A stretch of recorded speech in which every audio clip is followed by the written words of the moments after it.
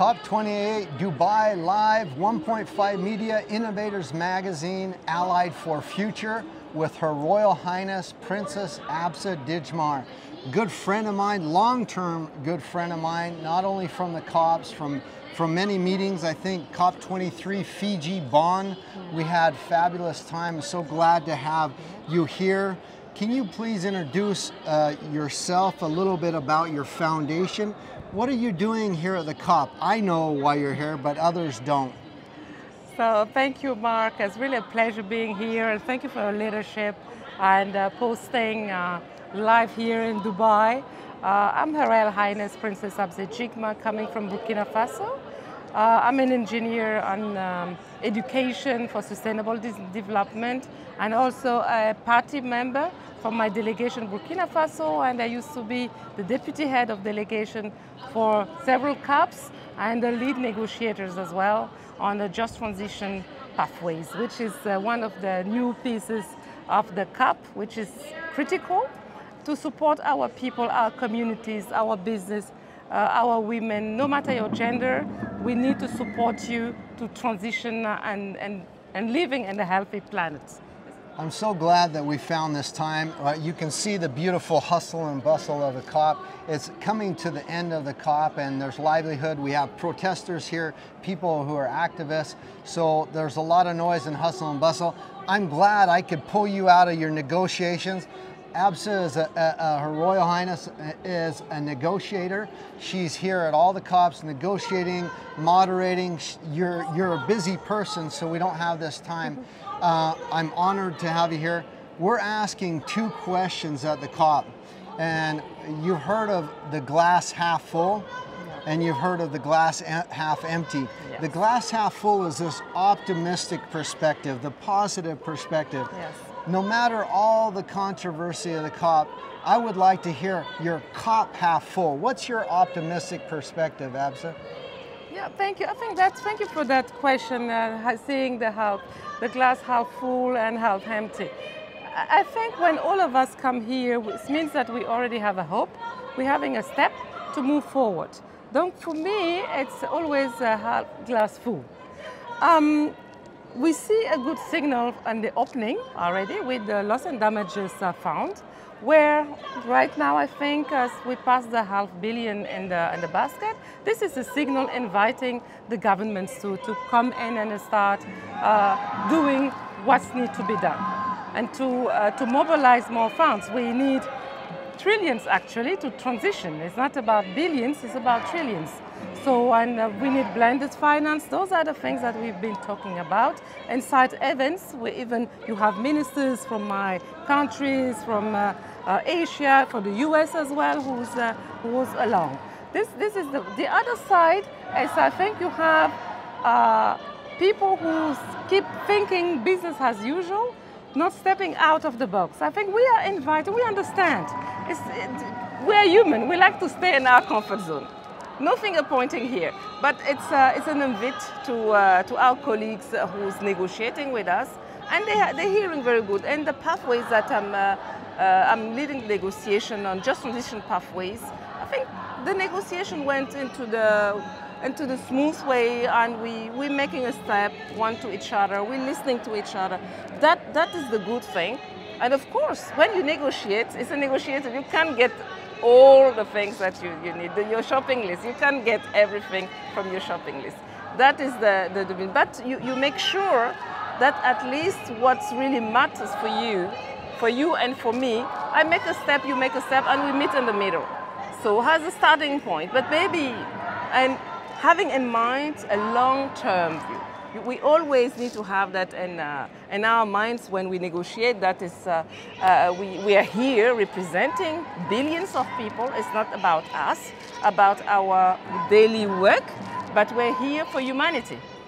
That's what we, from my side, when I negotiate, that's what I have in mind. So, and I hope my other colleagues also have that in mind when they negotiate. Thank you so much. I mean, that is such a beautiful perspective and gives us this deep dive into the back end of the negotiations and all the other work you do. And that's only just one little facet of the many things that you do.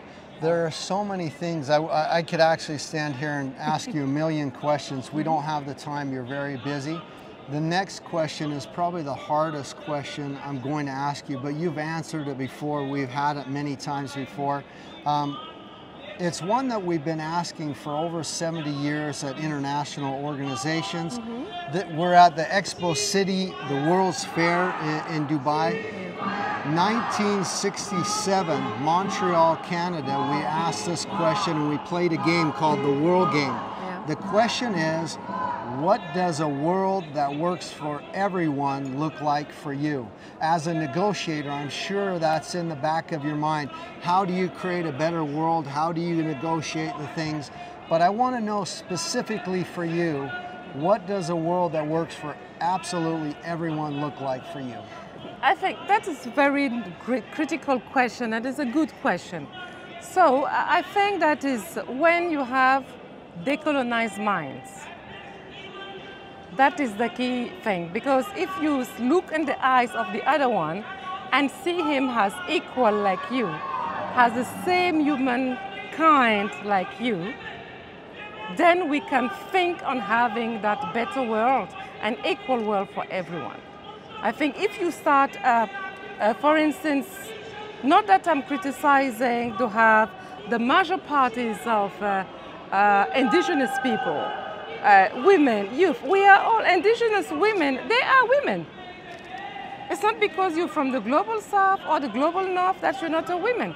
We are giving baby deliveries from the same. We get from pregnant in the same way. I think that we need also to don't uh, market. It's, marketing is good to get your point, but we need also to watch out. But by the fact, it's good to make noise to get your voice on the table. But at some point, we need to be careful on not falling in that trap that you're being targeted and put in a certain basket, and you even can't get out of it. So for me, for instance, a lot of uh, uh, uh organization ask me, can you come and be a, a, women activist? I say, you know, I have fantastic men that I like, who like me. They are, I, when I look at Marc, I see my brother, I see my father, I see my grandson with respect. And he respect me in return that he see his mother, his grandmother, his sister, and his granddaughter. When we look at that way, with that perspective, then we are equal.